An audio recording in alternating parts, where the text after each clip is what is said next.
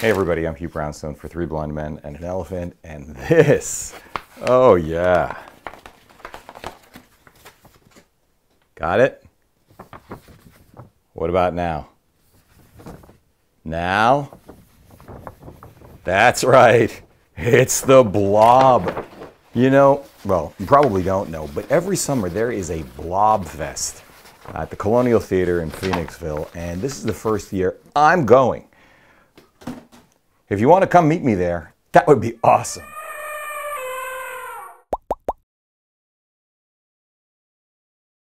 Anyway, that's not why you're tuning in. You're tuning in because of this guy, the $1,498 Sony RX10 Mark III.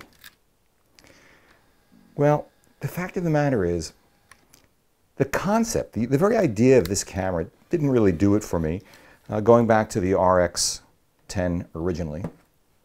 In fact, when I was in the market for a camera with a built-in lens, I actually purchased a Sony RX100 Mark IV. Really small, that EVF, I thought that was going to be great.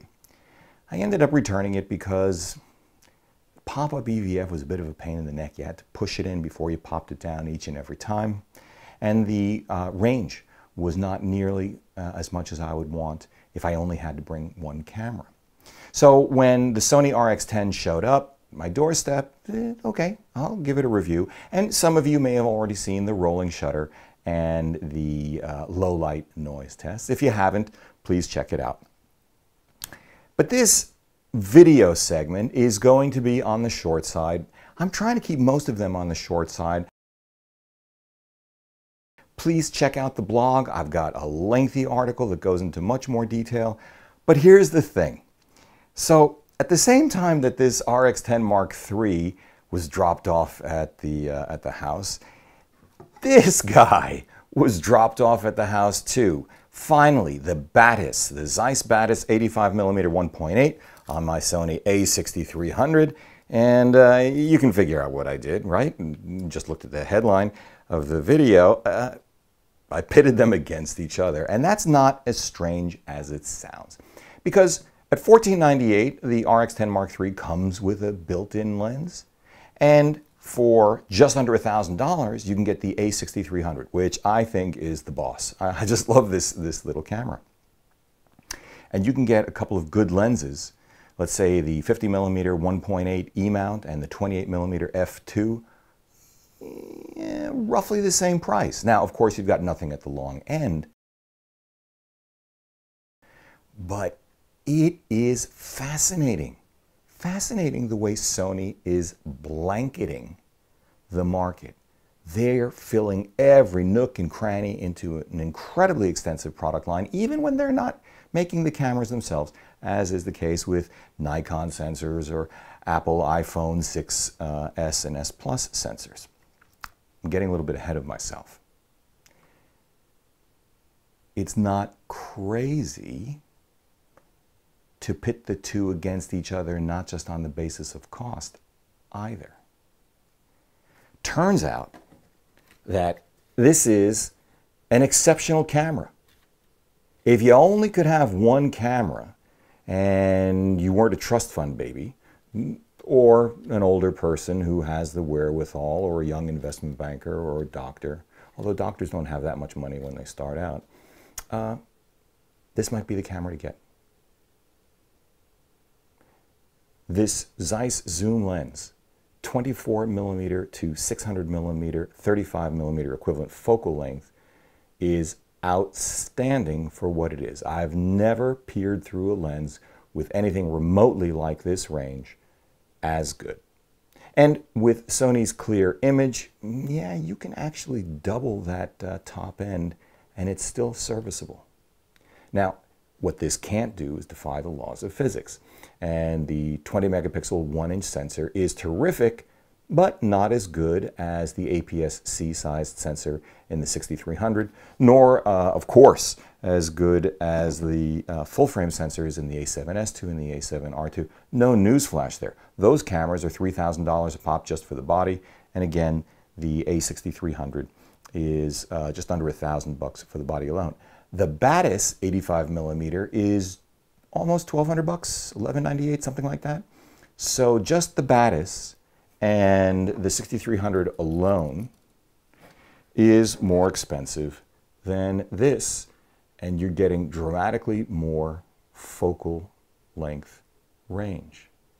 Now, you know where I'm going to go with this. This is one focal length. Fantastic lens.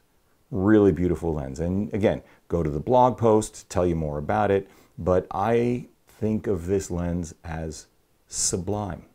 Uh, and mounted on the 6300, it's more like 135 millimeter, which is actually my favorite length uh, for portrait lens.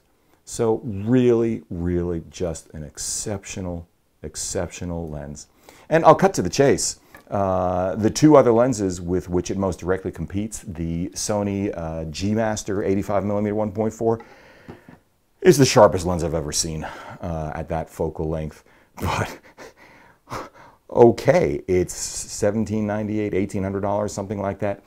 More importantly, it has no image stabilization. Now, that's fine when you're talking about an A7S2 or an A7R2, which has IBIS, in-body image stabilization. It's more of an issue when you have the 6300. So what I would say is that the Batis is actually the better lens choice if you have an APS-C sensor, whether it's the 6300 or the 6000, which is still a great camera, and which, by the way, I'm using to record this now. But it also competes against this guy, Sony's own 90mm 2.8 Macro G OSS, which by the name OSS, you know, optical steady shot, has image stabilization. And this you can get for just under a grand now, so 100, maybe 200 bucks cheaper than the Batis. And the reality is, I ended up buying this lens over the Batis. And why did I do that? I mean, the Batis is just, wow. But here's some reason why I really like the Batis, aside from how beautiful it is, it's a lot smaller and lighter than the 90 millimeter 2.8. It's got 1.8 instead of 2.8, but you know what? I like shooting up close. The difference in depth of field uh, between a 1.8 85 millimeter and a 1.4 85 millimeter is so small that uh, I couldn't justify it in my own mind again, for me, that is to say the G Master 85 1.4, which those of you who have read or, or seen my stuff before know I just thought was holy crap. Anyway, long story short, I was out testing the Batis on the 6300. I was testing the uh, RX10 Mark III under a variety of circumstances. When it comes to rolling shutter, they're about the same. When it comes to low light performance, the 6300 is definitely better. One or two stops better. I would say more like two stops better. But the RX10 Mark III comports itself beautifully up to 6400, which is fantastic. I mean, I'm old enough to remember that if you pushed uh, Tri-X from 400 to 1200 and developed it in Acufine, oh baby, you were esoteric. Well, it's nuts what we can do now. There are things about this camera that are better than the 6300. It has better ergonomics. What do I mean by that? Well, the first thing is the controls fall much easily to hand. They just do. And one of the things that I really like is that the movie button is right there under your thumb. I still don't know why they can't just have one button do it for stills and for movies, but Okay, whatever it is, that's fine. I also like that there is a dedicated exposure compensation dial right on top. Now on the 6300, that's a multi-function uh, button, which is fine, but I kind of like one button doing one thing. I'm probably in the minority that way. Uh, I also like the fact that the modes are on the other side of the top plate, unlike the 6300, which is right there. Not that this is difficult, but what this allows is an LCD uh, display on top, which is very nice, very DSLR-like. It has a deeper grip. It has a thicker body, and while it is definitely bigger than the 6300. It is downright petite, and I'm looking for it. I think I left it upstairs. The, uh, it is much more petite than the Canon 1D. The viewfinders on both of these cameras are lovely. I'm not sure why. I think maybe it's just the depth of the hood on the back of the viewfinder, but the RX10 Mark III actually has better uh, eye relief for me with my glasses on. Now, there are other things about the Ergos that I prefer on the RX10. Here's a big one. The card slot is on the side of the body, which means you don't have to take this off the tripod, out of the gimbal, or whatever to get the card out as you do on the 6300. The flip side is it's probably not the card that you're going to be changing most often. It's going to be the equally PEZ-sized batteries on these two cameras, in which case it doesn't matter that the card is on the side, you're still going to have to take it out, turn it upside down, and pull out the battery. All right, that's fine. What else do I like about uh, the Ergos? Well, let's, let's just say that one of the things that I really, really like is that this wheel on the back, same kind of wheel that's on the 6300 here, allows you to move a flexible spot focus point without delving into menus. That's definitely superior functionality and ergos. But let's talk about what else it does beyond what the 6300 does. It has a headphone jack. Uh, okay. All right, I've managed to figure out how to get by without the headphone jack on the 6300, and it is a very compact body, but it would have been nice if they've had it. The RX-10 Mark III has it. Really good. Really like it. And that range is phenomenal. And this lens is really sharp. I'm walking the pooch. Maybe you saw it in an earlier video, and I see a plane in the distance. I rack it all the way out. I, I, was stunned to find a second plane coming in below the first plane I spotted. And uh, wow, I wouldn't have caught that with any other camera because no other camera that I'm going to be walking around with is going to have this kind of range. And it was beautiful at the wide end as well. So, yeah, there's a lot to like about this lens. It's not just sharp, it doesn't just have range, uh, but it's snappy. It's really snappy. Now, on the other hand, there are a number of things that the 6300 does better, and you've already heard me uh, allude to one of them. It has a better sensor. Oh, you know what I didn't tell you? They both have 120 frames per second. They both use the same codec, XAV uh, CS. They both have the same bit rates, 100 megabits per second, 4K. They both shoot 4K, 50 megabits per second, 1080p. But this guy will shoot up to 960 frames per second. Now, 960 frames per second is cropped and it's kind of ugly, but there may be scenarios where that's what you want. You're willing to make that trade-off, and then you've got it, and you don't have it here. On the other hand, the 240 frames per second and even the 480 frames per second, they're reasonable. Holy cow. So, okay. Back to the 6300. Better sensor, better low light sensitivity, higher resolution, it holds together better if you pixel peep. And of course, if you're watching this video, you're going to do a little pixel peeping. But I encourage you not to. It's really about the totality of the image, the totality of the footage, the emotional impact, the, the storytelling that, that we do through images and footage rather than ultimate, ultimate, ultimate resolution. But 4K uh, imagery on the uh, RX10 Mark II, uh, Mark III is great.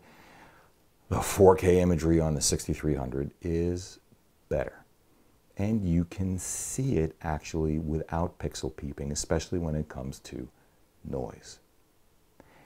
Now, the next thing, which is really the big thing, the advantage that the 6300 has, is that it gives you choice. Of course, because it's interchangeable lenses. Now, I'm a prime, fast prime kind of guy. And one of the thing that, things that you have to keep in mind when you're thinking about the RX10 Mark III is that the effective maximum aperture, this is a variable aperture zoom, is somewhere between f kind of 6.5 and f11. That's the maximum. You get to the 35 millimeter equivalent of 120, 135 millimeters, and you're at f11. f11.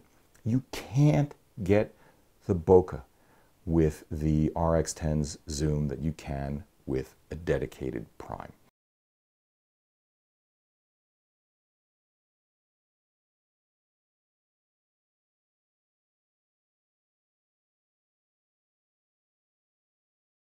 You can't get the close uh, minimum focusing distance that you can uh, when you're not in macro mode. But by the way, this does some beautiful macro stuff.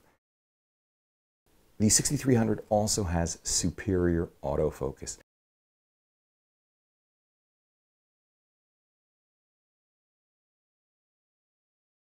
I could not get the RX10 Mark III to consistently track moving objects.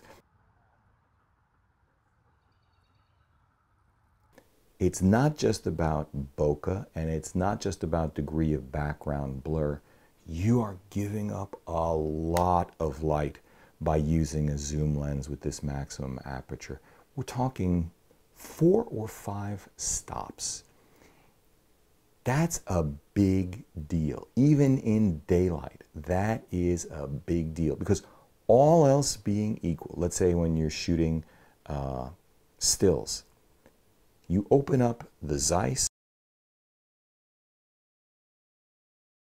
or any of the other primes, and you can reduce the ISO. You can have that larger APS-C 24 megapixel sensor giving you its best output. You know, it's kind of like ISO 100 versus ISO 6400.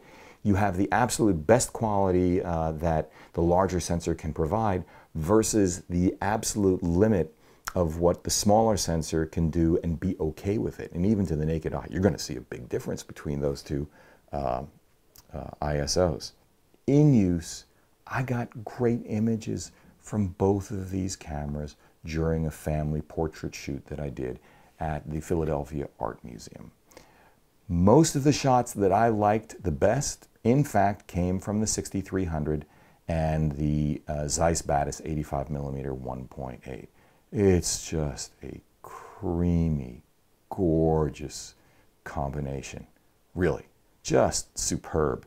And then at one point, I wanted to uh, play with 12 millimeter. And of course, 24 at the low end of the RX10 Mark III's uh, Zeiss Vario Sonnar is great. I think that's a great bottom end for a zoom lens uh, 35 millimeter uh, equivalent. On the other hand, I love 12 millimeter on the 6300. That's the equivalent of about 18 millimeters. And so I got some great shots like that and really enjoyed it. Again, on the other hand, I didn't have the ability to get telephoto compression uh, with the one lens that I had in the tele range, the Batis, and the Touit, of course, was, was not appropriate. Now, what the two cameras have in common is they've really got great sensors. They're tuned differently, they're slightly different sized, but wow, Sony is clever about the combination of functions and price points, and they're just blanketing the market. I mean, there is so little daylight in their product line from broadcast, you know, sports broadcast, major league stuff, all the way down to, to phones and everything in between. It's, it's really incredible.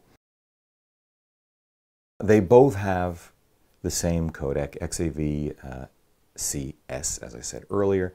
They both are limited to 8-bit 420, which, by the way, when you're talking about web distribution, 99 out of 100 times is in fact fine. If you want really just seamless gradations, late evening sky, early morning sky, well, 10 bit will make a difference. And differences in bit rate will make a difference. But other than that, wow. Neither of them has a touch screen. Uh, no big deal for me, unless the entire user experience were extraordinary and truly took advantage of that touchscreen. There's precisely one camera I've seen that can uh, I, that I can honestly say does that. That's the $33,000 Hasselblad H6D. Check it out. Uh, it's it's lovely what they've done, and they are the benchmark in, in my book for the user experience uh, in software-controlled cameras. So, what's the bottom line here? Let me give you an odd reference point. If I were serious about making films and moving up from an iPhone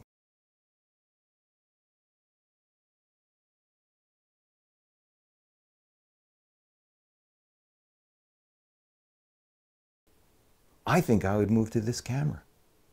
You know, a 128 gig iPhone 6s Plus is almost $900. This is $600 more, and you get a lot more. In fact, again, if you only could have one camera, or I'll be going to Europe later this summer, I'm thinking about traveling really light and simple, I'd have to look really long and hard at this guy. Now, I'm thinking, what if I could get my hands on the Sony RX1R Mark II, which is a fixed 35 millimeter full frame camera. Could I get through 10 days in Europe and be happy with that? Or if not that, what about the Leica Q, which just looks gorgeous when I held it in my hand back at Photo Plus Expo? Oh my God, that's a 28 millimeter lens. Could I be happy with that one focal length? Irrespective of price, this guy is a compelling alternative. But I have some time to figure that out. Um, and yeah, you know, maybe what I really want is a fast 400 millimeter FE lens for the 6300. And then I'd be kind of done. Except they don't make one of those yet. And to the extent that one should be jealous about equipment and in the overall scheme of human experience, to be jealous about any of this stuff is silly. But I aim to be entertaining. So if uh, I confess a certain jealousy toward Olympus's 300 millimeter prime, you understand why. Well, that's about it. Uh, an extraordinary camera, another extraordinary camera in the Sony lineup. Not for everybody, but I think that where this camera is going to be most interesting, I think it's going to be people who are about ready to move up from a point and shoot or a phone to a DSLR. Because the simple fact is, you can do about as much as anyone is going to do with a DSLR who isn't an advanced uh, user and it's going to cost you a lot less, and it's going to be a superior video machine. Okay, what else can I tell you? I think that's it. But I'm sticking with this guy. I'm Hugh Brownstone, Three Blind Men and an Elephant. See you next time. If you like what you saw here, please thumbs up, uh, subscribe, tell your friends, and uh, See you next time.